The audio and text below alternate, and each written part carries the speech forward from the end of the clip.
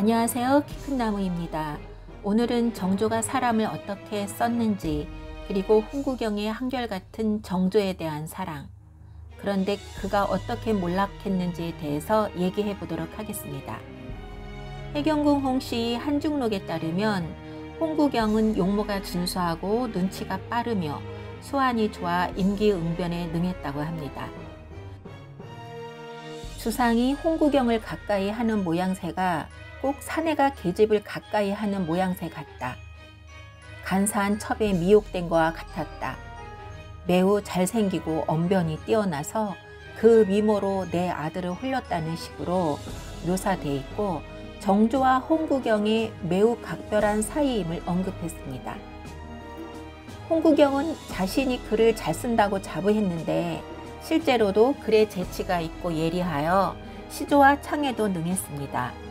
성격이 방종하여 술을 좋아하고 친구들과 모여 놀거나 얘기하기를 즐겼으며 장기와 같은 잡기를 좋아했다고 합니다. 이 때문에 집안 어른들이 그를 질책할 때가 많았고 명문가에서는 홍구경과 교유하려 하지 않았습니다. 홍구경이 학문에 전념하고 행실도 착실한 모범생 사대부는 아니었던 것 같습니다. 친구들에게 늘 천하의 모든 일이 내 손아귀에 있게 되는 날이 올 것이다 하고 장담하고 다녔다고 합니다. 일찍부터 정치적 포부를 갖고 있었던 것 같아요. 홍구경이 그렇게 자신감 넘칠 수 있었던 요인에는 가문적 배경도 있었는데요.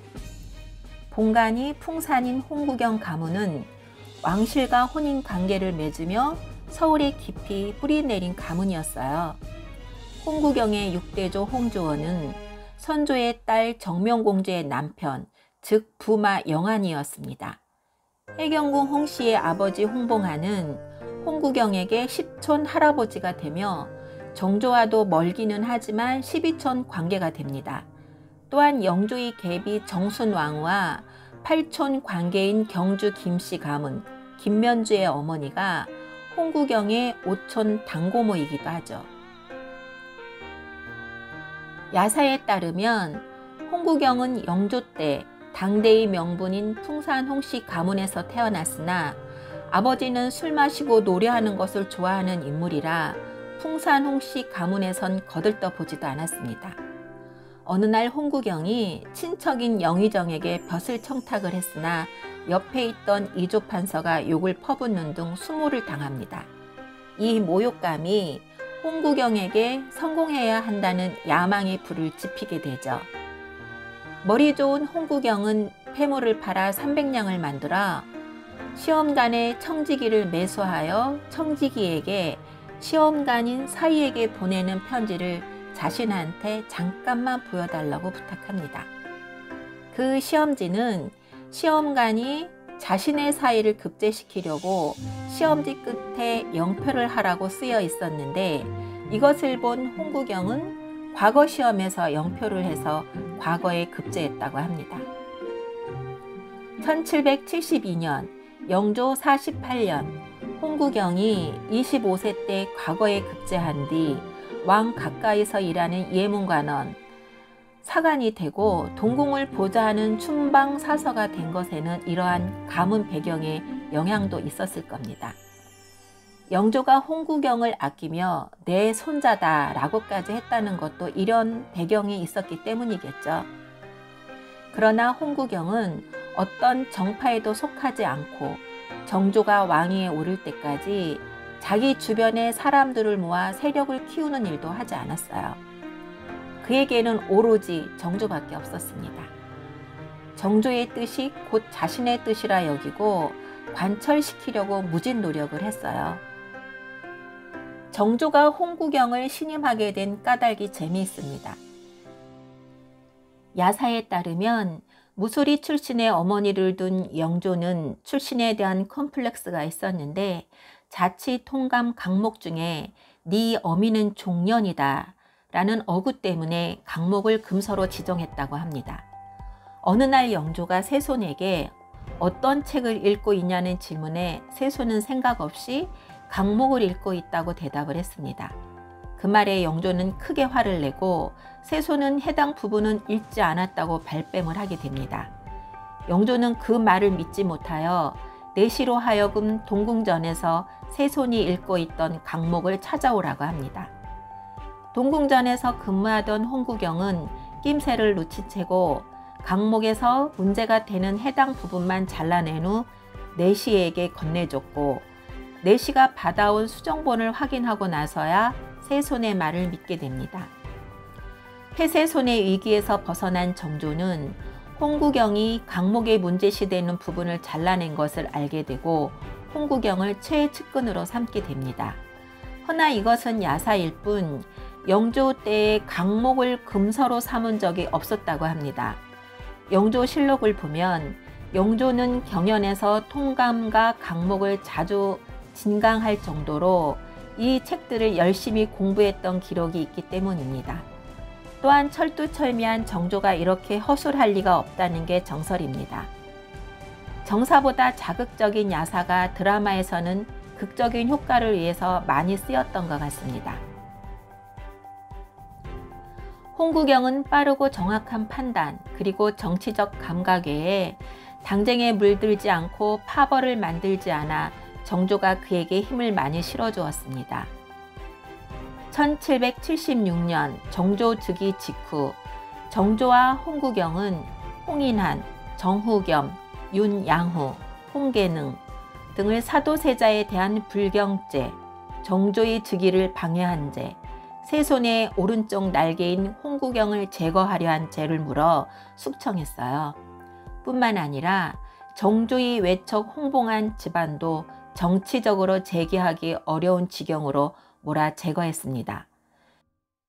정순 왕대비의 친동생 김귀주도 유배시키고 그 세력을 무너뜨렸습니다. 이것은 외척 세력을 배격하고 왕권을 강화하려는 정조의 뜻을 실행하는 행동대장인 홍구경의 모습이었습니다. 이때부터 모든 권력이 홍구경에게 집중되었는데 이후 초심을 잃었는지 횡포와 전행을 일삼아 홍구경을 두고 정후겸 못지않다 하여 대후겸이라 불렸습니다. 그런 홍구경은 1778년 정조 2년 6월에 자신의 누이 동생을 정조의 후궁으로 들여보냅니다. 당시 정조에게 후사가 없자 이를 걱정한 정순왕후가 후궁 간택을 명하였는데 홍구경은 자신의 여동생을 정조의 후궁으로 들여보냅니다. 정조에게 후손이 없다는 이유로 홍구경은 스스로 정조의 외척이 되었습니다. 원빈 홍씨의 가래는 중국 기비의 예를 참조하여 치러졌고 생전에 조정의 문안을 받는 등 후궁으로서는 이례적인 대접을 받았습니다. 원빈 홍씨는 가래를 치른 후 겨우 1년 만인 1779년 숨을 거두었는데 사후 효의궁이라는 궁호와 임명원이라는 원호를 받는 등 죽어서도 그 이례적인 대접은 변치 않았어요. 홍구경이 몰락 후에야 1786년 임명원과 효의궁의 이름은 강등되었습니다. 홍구경은 원빈이 세상을 떠난 후 정조의 비, 효의 왕후를 근거 없이 의심했습니다. 또한 원빈이 독살당한 증거를 찾는다며 궁궐의 나인을 비롯한 많은 무고한 사람들을 문초했습니다. 이에 따라 궁궐 내 거의 모든 세력이 홍구경을 미워하며 적대시하게 되죠.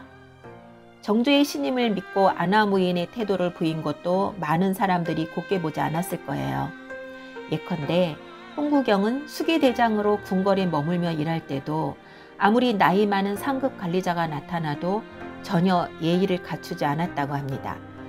이 모든 것을 잘 알고 있었을 정조는 별다른 반응이 없었어요.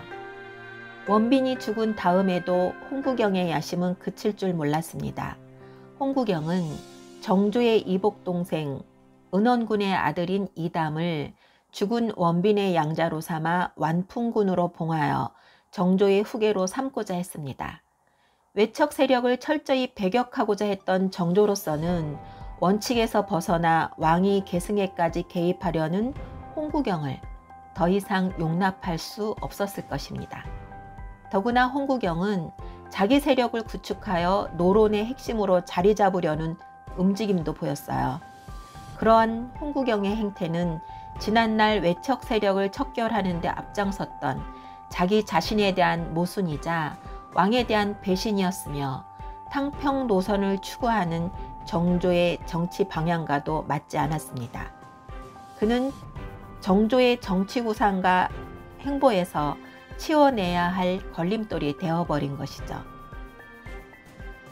1779년 정조 3년 9월 26일 정조는 홍구경에게 입조를 명했습니다. 홍구경도 정조의 갑작스러운 명에서 심상치 않음을 느낍니다. 이날은 7년 전 정조와 홍구경이 처음 만난 날이었어요. 정조를 만나고 돌아온 홍구경은 곧바로 은퇴의 뜻을 밝히는 소를 올렸습니다.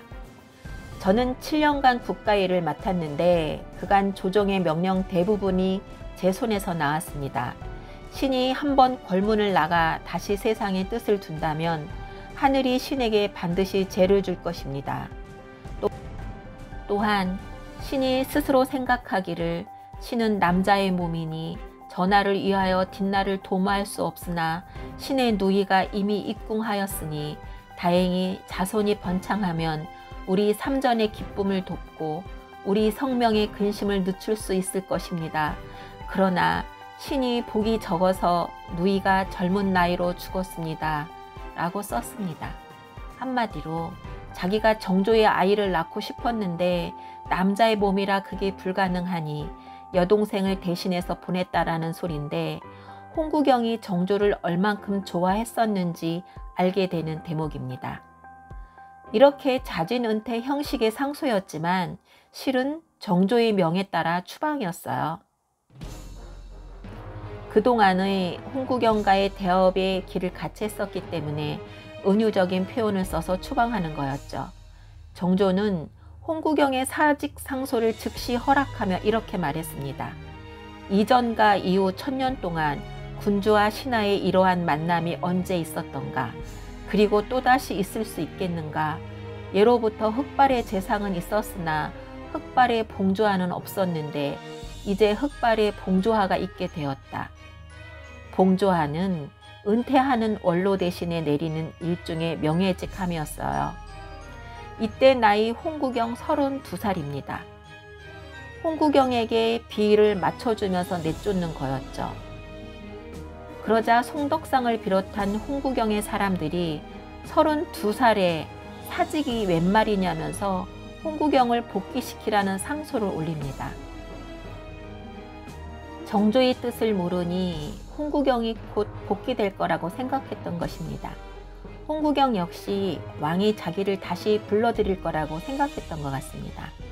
그런데 소론으로 정조의 즉위에 절대적인 공을 세운 중신 서명선은 홍구경의 전행을 못마땅하게 생각하여 이들과 동조하지 않았습니다. 그러자 홍구경의 수하들과 집안 사람들이 그를 맹렬히 탄핵하자 정조는 반대로 홍낙순을 내쫓고 홍구경도 귀양 보내 버렸습니다. 12월까지 홍구경의 복직을 촉구하던 상소가 이 일로 탄핵 상소로 바뀌기 시작합니다. 그 탄핵의 시작은 홍구경이 권세를 도모하여 부정을 행했다는 정조의 발언 때문이었어요. 정조는 불과 3개월 전에 퇴직하는 홍구경에게 말까지 하사하며 궁합까지 배웅할 정도로 극진히 대하다가 갑자기 홍구경이 실덕했음을 주장하며 홍구경을 삭탈 관직시키고 도성에서 추방시켜 버립니다. 이런 상황에서 홍구경이 효의 왕후를 독살 시도했다는 말이 터져 나옵니다. 물론 홍구경이 했다는 증거는 없었어요. 후사 문제에 있어 효의 왕후와 홍구경이 충돌하였을 때 정조는 후의 왕후 손을 들어준 상태였고 정조 또한 후사를 위해 새로운 후궁 화빈을 입궁시킨 이후였으므로 완풍군과 홍구경은 이미 정조에게도 껄끄러운 존재가 돼버렸습니다. 이런 상황에서 홍구경이 왕비를 독살하려 했었다는 탄원서가 올라오게 됩니다. 정조가 홍구경을 물리친 직접적인 계기는 원빈이 사망한 후 그가 정조의 왕비인 효의 왕후를 의심해서 핍박한 사건 때문입니다. 이는 정조 자신에 대한 공격으로 해석했던 것입니다. 해경궁 홍씨 기록에 따르면 홍구경은 원빈이 사망하자 내전에 나인들을 여러 잡아다가 칼을 빼들고 혹형을 가했다고 합니다. 그는 원빈이 독살당했다고 믿어 그 증거를 찾아내기 위해 멋대로 치도했다는 것입니다. 이에 따라 당시의 많은 사람들은 사소한 일에도 혹독하게 보복하는 홍구경의 성격에 비추어 왕비까지 죽이려 한다고 우려했습니다. 그 결과 왕대비, 해경궁 홍씨, 왕비를 포함한 궁궐의 모든 세력이 홍구경을 적으로 규정하여 공격했습니다. 홍구경이 동생을 원빈을 칭한 것도 으뜸원자를 사용한 것도 불충하다고 거론됩니다. 으뜸 원자는 근본이라는 뜻으로 왕이 계승권을 잇는다는 의미를 갖고 있어 후궁은 사용할 수 없는 글자임에도 감히 사용했다는 것은 궁중 질서를 무너뜨리는 행위입니다. 이런 것을 왕권에 대한 도전이라고 본 거죠. 정조는 신하들에게 홍구경을 탄핵하도록 유도합니다. 결국 탄핵으로 이어져 홍구경을 기왕 보내 거기서 이듬해 병사하게 됩니다.